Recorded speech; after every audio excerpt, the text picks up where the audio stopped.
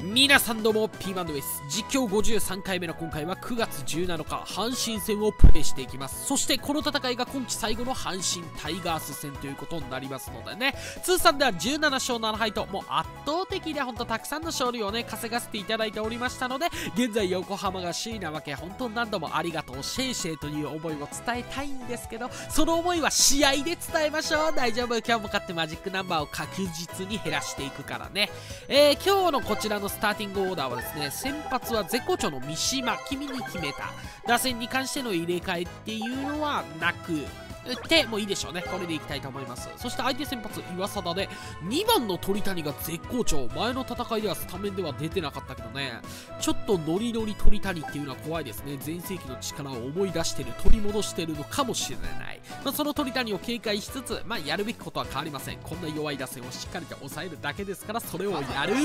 プレイボールさあしっかりと抑えていきましょう。ちょっと雨降ってますからね。試合展開も雨模様にせぬようにね。もやもやはいらない。今日優勝が決まるかもしれないってとこまで来てるんだからね。晴れ模様でやっていくよ。ずっと笑顔や、えー、発狂も怒りも泣き顔もこの戦いにはいらない。この先にはいらない。いい意味の笑顔。いい意味の泣き顔だけを求めてやっていこう。はい桑原掴んでワンアウト。今日の風はいい風だね。打球が押し戻される。向かい風ですから。これはピッチャー側からしたら助かるですね。そして今日ノリノリの鳥谷打率も3割1分打ってますからね。やばいね。これは阪神の顔ですわ。そしてここで打たれる。いいぞ、ま、でもね足はもうだいぶ衰えてますから盗塁に関しては警戒しなくてもいいと思うがちょっと鳥谷厄介ですね今日は。なかなか抑えづらいというかかなり打たれるよ。しかしその後のロサリオがはいクソみたいなゲッツー。シェーシェ本当ね。たくさんこれまで勝たせていただいておりますのにここでもこんなクソみたいな併殺打打ってくれるの本当に何度も何度だってありがとうと君たちに伝えるよ。試合でな。さあこちらの攻撃序盤から取ってねありがとうと伝えましょう。あらららら1球で終わるつもりはなかったんだけどね。もったいないこれでワンアウト。よ別に1回取れなくても2回取るし。3回4回と取れるし。いっぱい取れるし。やれるしそうやって勝ってきたし。問題ないって感じだね。てか優勝がねこの先も決まるかもしれないって感じなのねなんでこの柄ついてんの？悲しくない？野球かなり不人気な時代に戻ってますよね。見たくないな。暗黒時代の横浜じゃないかこれだとね。強いかったらファン来るんちゃうんかい。強いことが最大のファンサービスちゃうんかい強くなればなるほどなんかみんな離れていくのはなんでだい？弱い横浜が好きだからかな。なんかおかしいような気がしますけどね。まあこんな状況ですけど優勝はあと少しのところまで来てます。今日ヤクルト負けてくれたらですね一気にこのマジックナンバーが2になりますからね。もちろん前提としてはこっちが勝てばの話ですが。そのマジックナンバー2で次この後巨人戦なんですけどね。巨人戦を迎えたらどうだろうね。そこの結果次第では優勝が決まる。かもしれない。かもしれないじゃなくて決まるんじゃないか決めたいよ。クライマックスシリーズ出場っていうのはもう決めてますから A クラス以上はもうこの時点で確定して。いる、まあ、そんなのはどうでもいいんだよね。ク。ライマックスシリーズに出るなんて当たり前のことなんですからそこは出る出るのは通過点。じゃあどういった形で出るのかファイナルから登場するのか。ファーストステージから野球をやるのか。いや野球はそんなやりたくないんで。ファイナルからやりたいですね。ファーストステージはなしつまりは2位と3位にはならない。1位だけを目指すということだ。で今日はねあのノリノリなのはこのナバーロも同じなんですよね。絶好調鋭い打球ではあるが大和の取れる範囲助かったけどね。やっぱ調子のいい分こういう鋭いバッティングしてきますから。まあこの鳥谷にしろナバーロにしろ注意が必要だね。甘く入れない。し甘く入らなくとも打ってくると思うしね。さサード鳥谷守備ではまあ普通って感じ。ででもねちょっとあそこ狙うの面白いかもしれないバッティングでノリノリっていうのはね影響はありますけど守備はそのまんまですよね。だからダイレクトに選手の個人能力が出るんですよ。どうだ鳥谷？いろんな赤得とかも持ってそうだしねエラーとかね。でまた守備能力も低いでしょ。あの辺打てば内野安打も量産できるやんスタメンで出られる選手の守備力ちゃいますねんでもう鳥谷さんは。この打球は抜けてゆく。危ない北条に取られかけたがさあチャンスを広げてワンアウトランナー一塁二塁。で7番山今日は対左オーダーなんでねちょっといつもとは違う感じになってますけど。その結果広げまくりでランナー満塁で倉本やってきた。いや力が入るね。打ちますよもちろんね。満塁男持ちですから期待もできる。投げました。打った。決めてくれこの2回第に2球。投げました。打ちました。これはゲッツーか。二塁送球。二塁フォースアウト。それが君の答え。あそう。誰が受け入れるん？誰がこれでよしよしって頭撫でてくれるん？倉本の親でも頭撫でないでしょ？突き放すと思うわ。いやマジで。このチャンスでこれやるんだ。ダブルプレーでチャンスを潰しています。あもうまあええよ。見切りつけたまあつけたとして使っていくんですけどね。そういう縛りプレーなんでひも腹立つねなん153キロでやねんなんでやねん止まらない俺の中の俺はずっとなんでやねんなんでやねん倉本なんでやねんと言い続けてるよ投げました。それは言うでしょお前ね。あのシチュエーションでやるべきことがそれなんだからね。いやねえ。取りました。まあ、ねえなと嘆いてもね悲しんでもねぶち切れてもねゲッツーを打ったという現実は変わらないので。仕方ないね、まあ、とりあえずこの試合終わりにあの倉本の満塁男の特殊能力はなくなるんじゃないですか。ついてたらおかしいでしょ。えディークこれがハマスタの怖さだよね。もうこんなホームランって認めていいのか分かんないけどまあこの狭さがあるのでこれがいくまあこっちにとってこれもプラスになることもあればマイナスになることもありますからね。だからあのこの球場であまり野球したくない。でも CS 優勝した場合はここでねファイナルステージが行われますからね。ああもう打たれる相手が違うだろうと嘆きたいがまあええわ1点くらいならねまあでもこれもゲッツー打った流れもありましたからね。多分おそらくそれですよ。倉本がゲッツーを打たず最低限のバッティングでもしもこちらが1点取っておけば梅野に一撃打たれることはなかったんじゃないかな。でもなんで一撃打たれたかというと俺は説明できる倉本がゲッツーをかましたから絶対ありますその因果関係間違いない。ゲッツー打ってない世界に踏み込みたかったんですねこのチームごとい。けなかった行こうと思ったんだけど倉本だけが行かなかった。だから俺たちも行けなかった投げました。うわまだ続くの？この流れ。これ。以上やったらめんどいぞ。ほんでノリノリの倉本じゃない。鳥谷じゃない。第2球。投げました。外角低め。いや簡単に追い込んでも選球眼がかなりやばい選手ですから第3球をね追い込んでからが勝負だよね。ボール球基本振ってくれないからゾーンで勝負するしかないがよかったね。ノリノリの割にはわりかしスムーズに簡単に。表が終わって1対0いけたわベイスターズこの回の攻撃はまあ良かったんですけども。よよかったんですけども取られたからね取るやる。うん。第2球。今日三島8番の方が良かったかもしれないね調子いい分ね。絶好調だし倉本よりもこっちの方がなんか結果残すんじゃないかな。残してたんじゃないかなおそらくね。そうするべきだったここ最近はずっと倉本を9番ピッチャーを8番っていう起用法にしてて結構それが当たってて繋がってたんだけどねなんかまた倉本を8番にしたことによって戻ったね元のあの嫌な感じに。ベンチがギスギスする感じにね。ロペスとプトゥゴが何か言い合ってるシーンもこのペナントでもちょっと映るんじゃないかな。あいつどうにかせえよ。いや俺できないっすよ。そういう論争を筒香とロペス繰り広げてると思う。一人の存在でチームの雰囲気全部変わるんか。嫌だねそれねまあ外したいけど外せない呪いの装備なんで仕方がねさあ倉本君先ほどのミスを取り返せるか？取り返してくれ。ここでもこのクソみたいなバッティングも誰も期待してない。お前の打席になったらみんなスマホいじり始めてる。試合中にあまりいじらないようにってアナウンスされるけどいじっていいと思うよ。公式が多分言うんじゃないかな。倉本の打席ですのでみんなスマホ見ましょう。いやそう言っていいと思いますよ。見る価値ね見ててイラッとするだけならね別のとこ見てた方がいいですよね。外見るのもよしだし。なんか買いに行くのもよしアイマスクつけるのもいい。よ球場でアイマスクね。そうめんするより立ち悪いような気がするけどね。流しそうめんよりね。まあでもあの打席だけは許されます。こいつの打席だけはねもう取れるはずの得点を5回まで取れずにぺちゃくちゃ喋りながらここまで来てますが6回から少し流れを変えることはできるのか？最終回。おそらく守護神のドリスを出してくるでしょうね。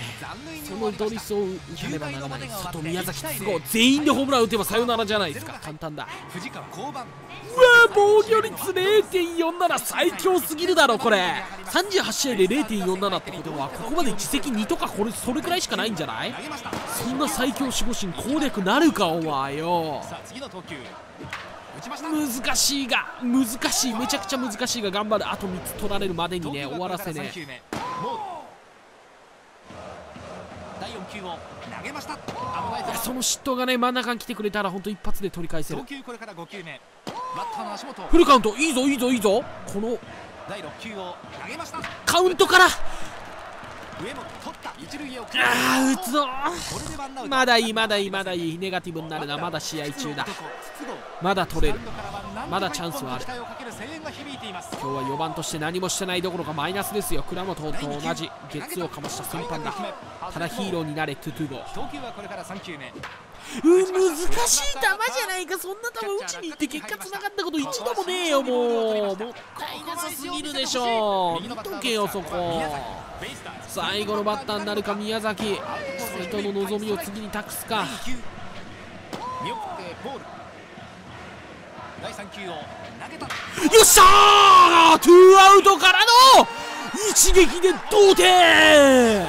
防御率0.47のクローザーをツーアウトから攻略してるこれですからね。まだ同点です。まだ同点なんですけども。よし終わりじゃない。何一つ終わりじゃない。イエーご覧くいス。行く行く行く。やるやるやる。素晴らしい。流れはこっちだ。わからんでしょう野球ってね。そういや俺かつてさこの阪神戦で5点差からの逆転負けだっけ？食らったよねちょうどねあの分をやり返すよ。まあ点差は1点差でしたけど。こっからひっくり返す。逆転を起こす。あの分のリベンジをこの最終戦で取る。第4球を投げた。わあーまあいいでしょう。延長プレイしていきましょう。OKOKOK 気にすんな気にすんな。ここで1点取ったことが大きいんだ。防御率0点台のクローザーから2アウトからだからね。あの追い込められたシチュエーションで打つっていうのはもうちょっとありえないですね。打った自分が一番信じられないというか信じてない。夢じゃない。幻じゃないこれね。俺の夢の世界を今皆様にお届けしているかもしれない。いやでもこれは現実だ。あービンタして痛いから間違いない第2球打ちました。差を抑えていかねばならぬのに倉本は取っていやこっからアウトにはできない。取るとこ一流投げるのクソ二流。アマチュア以下。取って投げるまでのススピードそしてこの肩力ふんわりすぎるだろう。しゃあないわなあのシチュエーションからアウトにできるやつの方が日本球界少ねえよ。投げました。初球から振ってきました。ピッチャーのも左へうんここはもう一塁アウトでしょうね。取った直後ですからね。結局負けたら意味ないからねここで取られてね。意味ないよクローザー打ったとしても。守るんだぜ。しっかりしよう。投げました。初球はいはいはいはい。セカンド右横のゴロ。これでツーアウト。次のバッター誰？さあこの勝負でゲームが決まってしまうか。鳥谷かいやもうでも抑えてるからね。ノリノリとはいえど今日はその後の打席は2三振に1個のお凡退、えー3打数ノーヒットですからね。行きましょう行きましょう。臆することなくビビることなく。旬はとうとうに過ぎている。ピークはもう過ぎている。ランナー三塁。変化球ストライクアウトローへ。全然大丈夫。ま投球はこれから3球目。スライダーはよし。いやもう最後ね外に逃がしていいと思う。さあ4球目はい三振衰えたベテランに用はねえぞこの現場に立っていいのはちゃんとした実力があるもの。だ鳥谷さんはどうだい？まあ3割打ってますからね。あるっちゃあるんですけどね。助かった。ぶっちゃけ鳥谷に代打送られた方が怖かったですね。そして桑原防御率はクソだが投げてる球が結構えげつない人ですからねあーでターニングポイントクリアしたんでね能力爆上げだいやこのイニングチャンスを作っていきたいな。でもねちょっとスライダーがかなりえげつない人なんで攻略むずいよもう打つんならこういう動く球早いカウントから打ちに行ってもいいと思う。わ追い込まれたらスライダーが来投げました。るからねこれ。これこれ、まあ、調子悪いからいつも以上に曲がってはないがそれで4球目。もそこそこに曲がってる。このムービングファスト打ちに行ってそれがヒットじゃないと意味ねえじゃん。さあ次は倉左本バッターボックスは8番倉本。今日はここまで3打数狙おうか。1安打投げました。外れた。ボールちょっとね行きましょうかね。うわーでも何の物語性もなかったね。楽しくねえわお前の打席。みんなスマホいじる理由がわかるよこれだと。エスコバに対してももちろん代打ですね。この後は安明行こうと思いますので。まあ安明行く前にホームランなんて出れば決めれますからね。ターニングポイントで送るわ。後藤武俊。まあ全然数字は残してないですけどねが出ればちょっと考えたらよだれが出てくるね。1球目ストライクから投げた。変化球はアウトローへボール第3球を投げた。インハイの速球はボール第4球は危ない球スリーボールいや1番に回せれば大きいよ次が5球目投げた。よしフォアボールオーケーオーケーオーケー後藤に対してのダイソーはもちろんこの場合は送りますねえーと寺内。え行きたいと思います。送ってさあ桑原第9投げました。うわ危ない危ない危ない。いや打ちに行くのは正解だけどね。ちょっと今のはミスだ。第2球投げました。外後ろに飛んでて正解ですわ。助かったわ。第3球を投げました。スライダーもうまく打つも。やっぱこの曲がりえげつないんでね。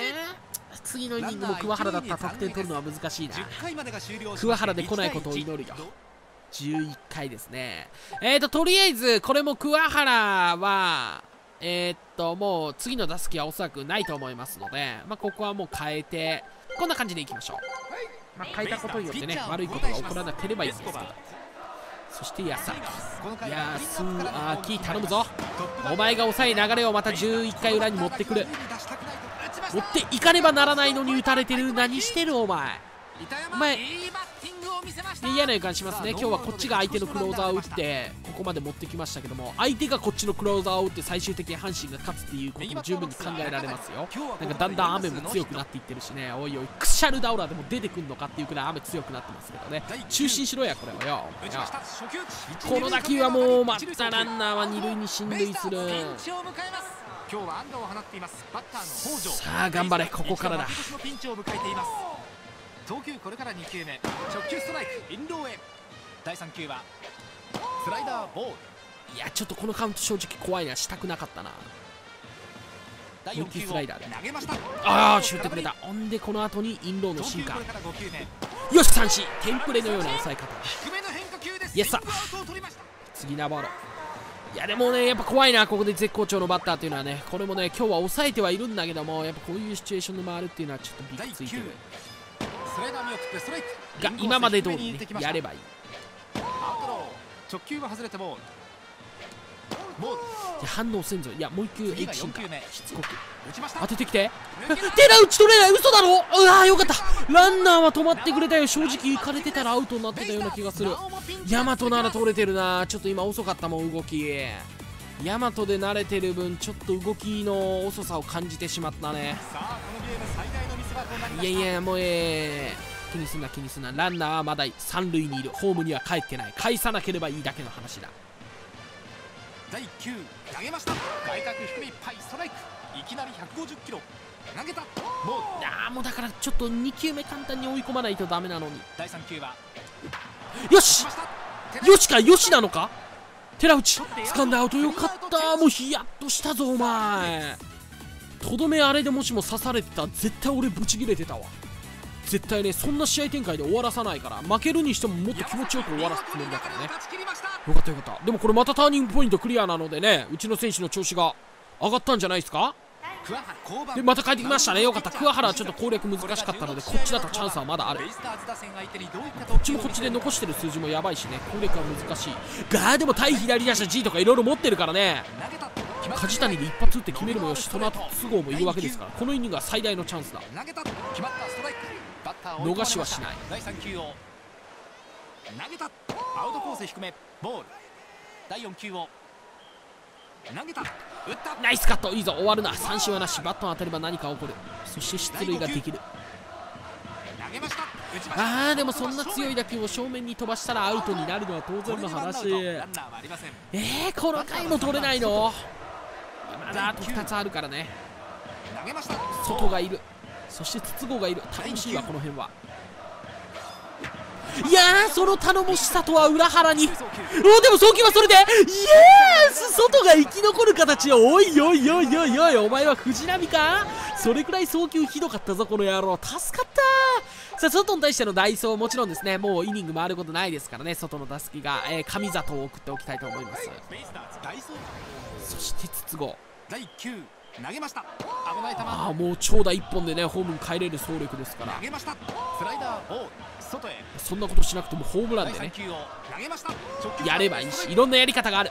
何でも言えば入れば。これから4球目。打ちました。筒香打ち損じでミスはなく。えー、このチャンスで宮崎決めれるか。先ほどのホームランは見事だった。最後も宮崎で決めるか。それとも終わるか。第2球宮崎で伸びて伸びて宮崎で決めた。さよならツーランホームラン劇的な決着。最後のヒーローになったのは宮崎でしたね。これが今の日本を代表する最強の三塁手や細崎のベテランナイス。ありがとう。もう宮崎なくしては勝てなかった1日です。1日ですからね。今日の3点は全て宮崎の打点ですから。劇的サヨナラツーランと同時に20号も到達。最高でしたね。横浜のプーさんが横浜を救ってくれました。もう今晩はたくさんの蜂蜜を舐めてどうぞ。用意しておきますのでね。この劇的な勝利によってマジックナンバーを3にすることができましたね。9月17日はですねこれヤクルトが試合なかったのでその試合ヤクルトが試合やって負けててくれてたら一気に2にすることができたんですけど試合がなかった分3まあでも確実に一つ一つ減らせていってるからね。でもパ・リーグの西武に至っては1になってますからね、えー、どうやらこのリーグペナントでは先に優勝を決めるのはパ・リーグの方になりそうですね。まあこっからわかんないけどね。もしかしたら西武はこっからグダグダが続いてっていう展開もあるしまあ横浜が決めるかもしれない。まあ別にいいんですよ。セ・リーグパ・リーグどっちが先に決めようかね。横浜が20年ぶりの優勝を決める。そこが大切なんですからね。今回の劇的な勝利にはまだまだ酔いしれていたいですが優勝を決めなければダメですから浮かれずにですね次回プレー予定は9月19日の巨人戦ですからね。その巨人に勝ち。またこのマジックナンバーを減らしていけるように頑張っていきたいと思いますのでね。お見事なゲームになりましたがここまでご視聴いただきありがとうございました。次回も期待してこんなゲームにしてみせるからね。ググググバイまた会おう。